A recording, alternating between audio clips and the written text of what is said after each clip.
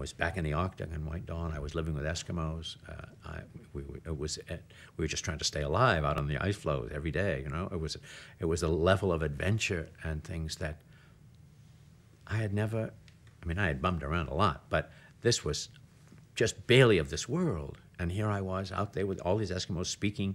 I learned some Inuit. I still can remember bits and pieces. I can count to five and various things like that. Um, and I was living this life, and, and people were paying me to do it. And, and I was shooting this extraordinary landscape. If you ever, I don't know if have you ever seen White Dawn? Any of you ever seen White Dawn? Oh, I recommend it highly. It's really very, it's, it's not a great movie, but it's a wonderful B movie in a way. Um, and I mean that uh, as, a, as praise, not as, uh, not to denigrate it. It was, you know, fairly low budget and a, on a simple subject where much of the uh, excitement of the movie was we're going to take you to a place you've never been before because by God you had never had been there. And we were there living in igloos and, and, and living with Eskimos and, and going out on the ice every day hauled by uh, the cameras the dogs would run away with the dog sled and the cameras would go bouncing off down the ice. And it was an, an incredible adventure. And, and I thought this industry is going to do this kind of thing for me I think I think I found a home. I think this is where I belong. I'm not sure it was ever quite as uh, otherworldly and as exciting as White Dawn again, but um, it certainly sold me. Uh, White Dawn's a marvelous movie. It's marvelous. That's mostly marvelous because I mean, as a story, and I did a good job, and Phil did a good job, and all that.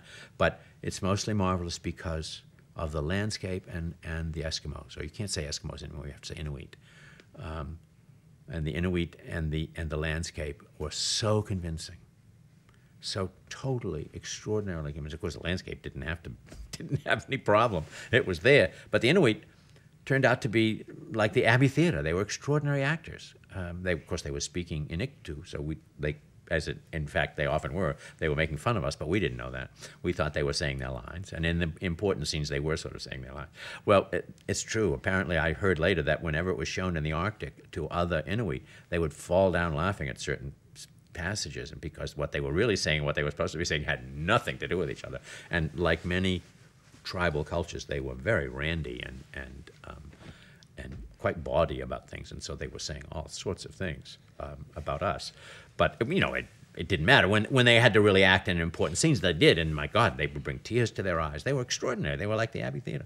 I told you, that, or I don't know if I did, that we brought several actors up there to play the main parts, and within a week, the Eskimo said, look, this is not going to fly. They have to let us do it. And so we just sent them back.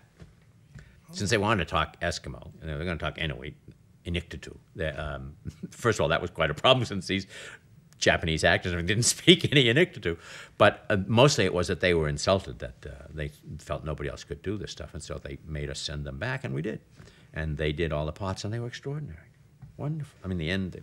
I don't want to spoil it for you. You haven't seen it, but uh, it has a sad, tragic ending, and where um, and the, it ends with the Eskimo girl, Inuit girl, weeping over her her fallen lover, and she's weeping, you know, and it's utterly in the, in the middle of the Arctic, nowhere, and she's tears are pouring down. It's extraordinary. They and they would none of them had ever. They've not, never acted before, but they lived in a culture in which people did the equivalent of acting all the time. They, they would amuse each other with uh, acting out stories and, and telling things and making fun of each other and, um, and doing uh, what really is, a, I suppose, a form of tribal acting. And it all worked out brilliantly. And the movie is a success because of them and the, and the landscape, not because of, again, we did a fine job. We, you know, we, we didn't get killed and we didn't, we were not eaten by by uh, polar bears, and we didn't go through the ice. And we managed to get images down on, and sometimes quite striking images because the landscape and the light is so extraordinary.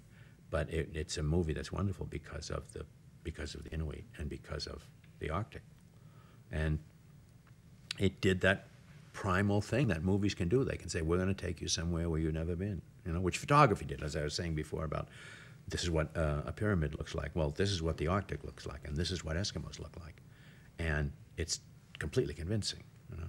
and, and because they obviously are Eskimos, and it really is the Arctic, and those are really seals they're killing, and those are really walrus we're killing, and that they're eating, and all that. And it just does that primal movie thing of telling you something you've never been told before and making you believe it, which uh, which theater can never theater can never do.